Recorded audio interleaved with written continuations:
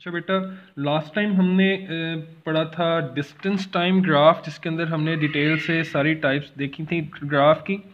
اور اس میں میں نے آپ کو سلوپ کا کانسیپٹ بھی سمجھایا تھا کہ سلوپ کیا چیز ہوتی ہے۔ It is the ratio of change along y axis to the change along x axis اب ہم نے بیٹا دیکھنا ہے کہ اسپیڈ ٹائم گراف کیا ہوتا ہے۔ اب اسپیڈ ٹائم گراف بیٹا جو بنے گا وہ موشن سے ریلیٹڈ بنے گا اور موشن میں نے آپ کو بتایا تھا کہ بیٹا دو طرح کی پاسبلٹیز ہو سکتی ہیں۔ موشن میں یا تو باڈی کی موشن یونیفارم ہو سکتی ہے۔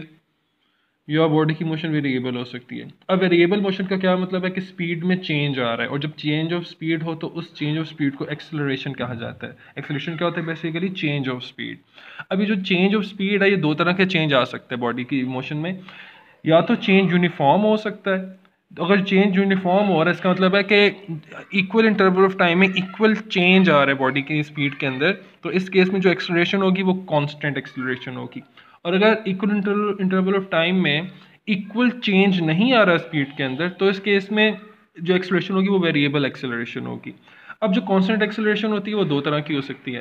پازیٹیو ایکسلریشن بھی کانسٹنٹ ایکسلریشن ہو سکتی ہے اور نیگیٹو ایکسلریشن بھی کانسٹنٹ ایکسلریشن ہو سکتی ہے۔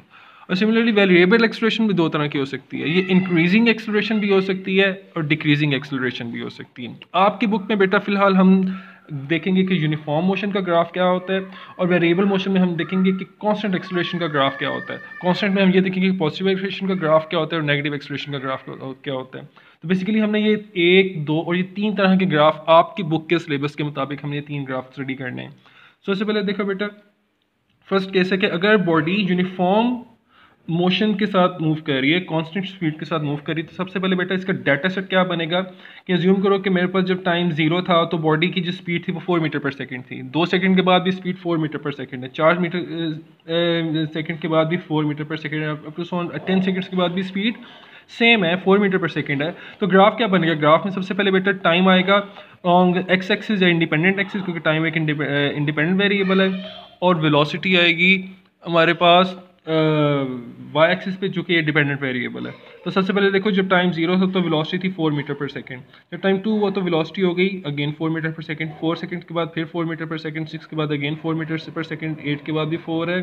اور ٹین ٹین کے بعد بھی فور میٹر پر سیکنڈ ہے۔ تو میرے پاس اب یہ جو گراف بنا ہے، یہ جو میرے پاس آیا ایک اسٹریٹ لائن آیا which is parallel to time axis تو میرے پاس کیا آیا؟ Straight line parallel to time axis ٹھیک ہے؟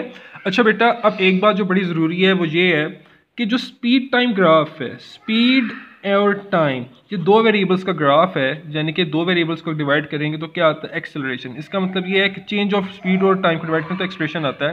اس کا مطلب ہے کہ اسپیڈ گراف سے تو جو مجھے انفارمیشن ملے گی، ایک تو ملے گی مجھے ایکسلریشن کے بارے میں، ٹھیک ہے؟ اور ایکسلریشن کی انفارمیشن کیسے نکال کے دے کیا نکالتے ہوتے ہیں؟ گراف کے ذریعے۔ گراف کے ذریعے کیسے انفارمیشن نکالتے ہوتے ہیں؟ جب ہم سلوپ فائنڈ کرتے ہیں، جو کہ میں نے آپ کو لاسٹ ٹائم بھی بتایا تھا کہ گراف کی جو کرو ہوتی ہے، اس کے ذریعے جو انفارمیشن ملتی ہے، وہ سلوپ فائنڈ کرنے کے ذریعے ملتی ہے، ٹھیک ہے؟ تو اسی طرح اسی وجہ سے اس کی جو انفارمیشن ملے گی، وہ بھی کسی بھی لائن کی سلوپ کی وجہ سے ملے گی۔ ٹھیک ہے؟ تو اس کا مطلب ہے کہ جو لاسٹ ٹائم کا جو گراف ہے، وہ ایک انفو جو انفارمیشن جو مجھے دے رہا ہے، وہ تو دے رہا ہے مجھے ایکسلریشن کے بارے میں۔ اور ایکسلریشن کی انفارمیشن کس کے ذریعے مل رہی ہے مجھے؟ سلوپ کے ذریعے مل رہی ہے that is change along y x divide by change along x axis ٹھیک ہے؟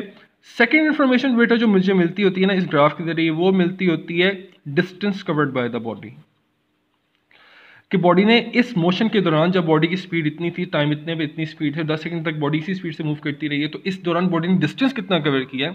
تو ڈسٹینس کی انفارمیشن بھی مجھے اسی گراف کے ذریعے ملتی ہے۔ وہ کیسے ملتی ہوتی ہے؟ By finding area under the graph ٹھیک ہے؟ مطلب یہ جو گراف آیا، اس کو میں اس اینڈ پوائنٹ سے پرپینڈیکولر ایکس ایکسس پہ ڈرا کروں گا، تو یہ جو ایریا بنے گا اس چیز کا، جو ایریا ہوگا، وہ ایریا مجھے کیا بتائے گا؟ Distance traveled by the body